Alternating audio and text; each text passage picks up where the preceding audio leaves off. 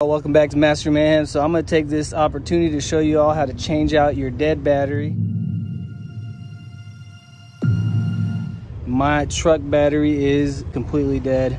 We know it's the battery, it's not the alternator. I had the folks at AutoZone check it out. So let me just go ahead and show you how to take off the, the cables from the terminals. I definitely always verify whether it's the alternator or the battery. There you go, so it will not start completely dead. And I'm just glad it's not the alternator. All right, these are usually size 10 millimeters. We're gonna take off these two bolts here. All right, so we can lift the cables off of the terminals. All right, just lift it off, just like that. Put that to the side, now let's go get the negative with the black. Let's see how they got this one. So this is the bolt here that you want to loosen up on this cable and then you should be able to lift it up. This is a little snug, but if you just wiggle it and move it around, it will come off. All right, the third bolt to get is this one right here, which is basically a plastic clamp that keeps the battery from sliding around. So let's go ahead and take that bolt off. Okay, we've added two extensions just to be able to reach down there and not hit the battery. It is also a size 10 millimeter for that bolt right there. So let's go ahead and do it. Just take it nice and easy. Not too bad, just a few turns there. Well, there you go, just take that plastic block out we'll, for the new battery, okay? So leave that there for now. We should be able to take the old battery out. See if I can lift it out. All right.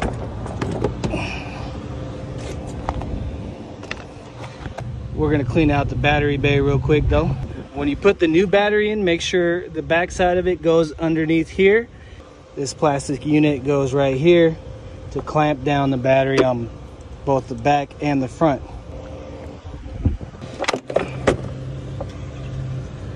So this plastic block here will hold the battery in place. There we go, get a few threads with your hand. Uh, see how it's tightening that battery down, nice and secure. You don't want this battery sliding around once you're out there driving. There we go. And that's not going anywhere. We're gonna apply some of this grease to the terminals to make sure it has good contact. Take these covers off, spread it around a little bit. Do the same thing on this one. All right, so that's it. We got both of them all greased up. So now you just grab the terminal, the negative first,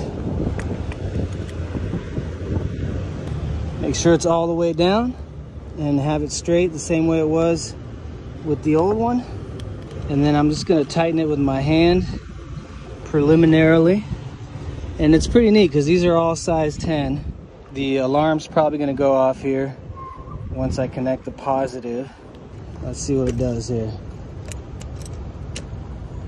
Oh, okay. I guess not.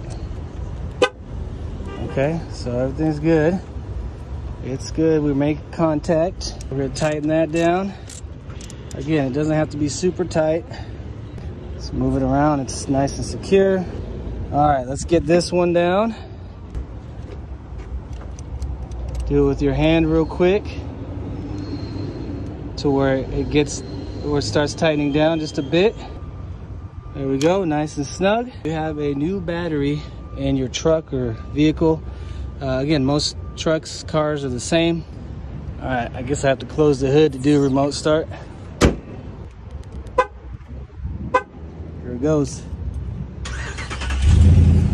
We're good to go. Let's let this AC run. Everything's up and going. So once again here at Mastering Mayhem, just trying to help make life a little easier and work more efficient. If this video helped you out, please leave a like, share, comment, subscribe to the channel. Check out our power tool giveaway every Saturday night at 9 p.m. Central Standard Time. And until next time, I only hope all the best to you and yours.